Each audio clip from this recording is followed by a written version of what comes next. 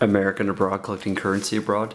Thought I would show you some $1 star notes. Also thought I'd share with you guys a little bit about the German political system.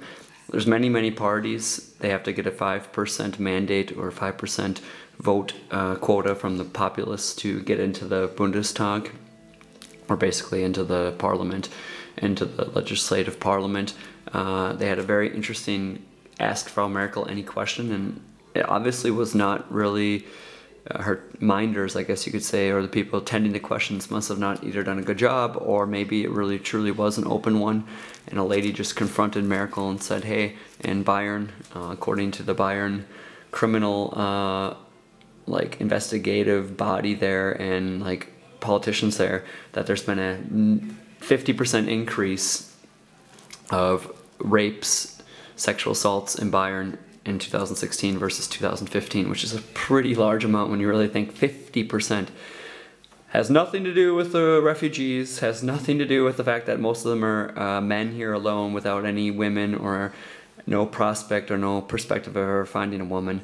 And then they went on to basically say that um, this lady confronted Merkel and said, yeah, 90% of those increases are actually uh, were committed by foreigners, which actually I take offense to because I'm also a foreigner in Germany. Why don't they say who those foreigners were?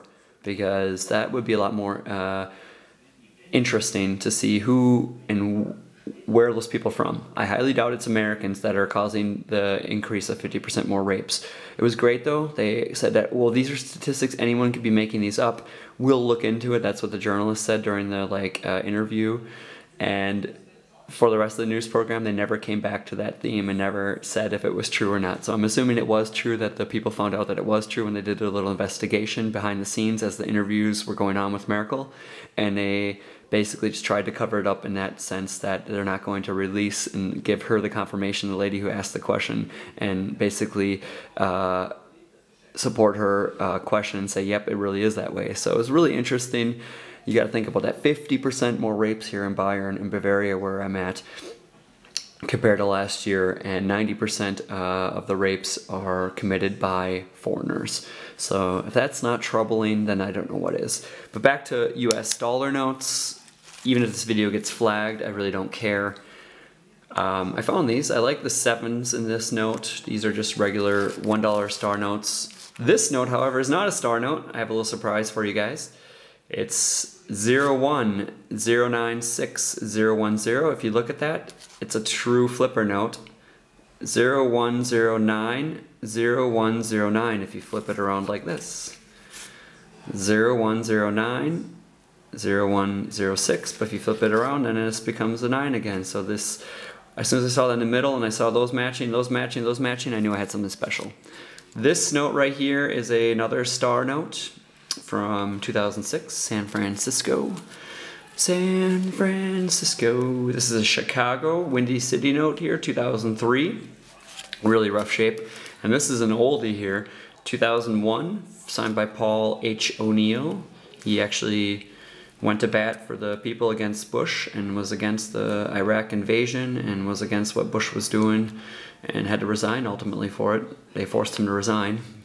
Uh, and this is a K note. Ooh, K, I believe that's a Dallas or Kansas City note.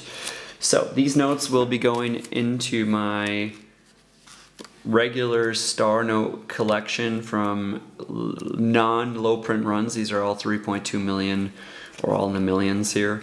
So gonna put this together with those notes and uh, keep these because like I said, star notes at some point are no longer going to be printed and these guys will be going to this little stack right here that I have of just totally normal star notes here. So thanks for watching guys. Thanks for listening to my political diatribe here, and I hope that you guys are staying safe out there. And if you're visiting Germany as a female, or if you're anyone is sending a, a young juvenile female to Germany, uh, make sure they get some pepper spray. Thanks a lot, guys, for watching. Bye bye.